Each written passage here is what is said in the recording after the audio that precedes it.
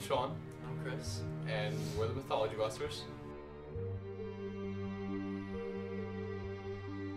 What we're gonna do is we're gonna we're gonna find the labyrinth, and we're gonna prove that Minotaur actually is real.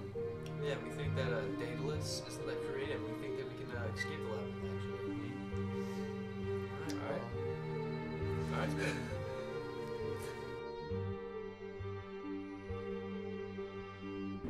All right, we're on our way to find the labyrinth.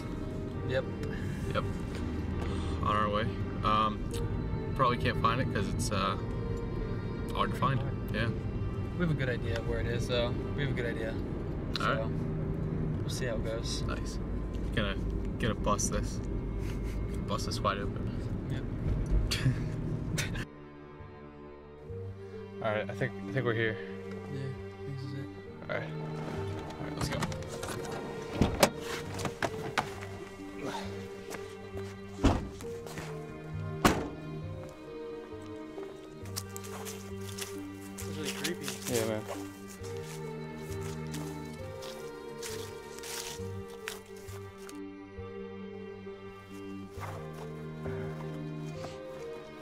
Dude, where are we?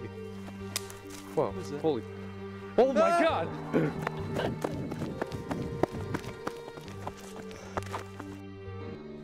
got got some good news and some bad news. Um, we're the good news is that we, we found the labyrinth. Um, the bad news is that we are hopelessly, hopelessly lost. Um, this is our our first or only planned night that we're here because we have to we have to stay because we are lost and we can't get out. There is no cell phone service here.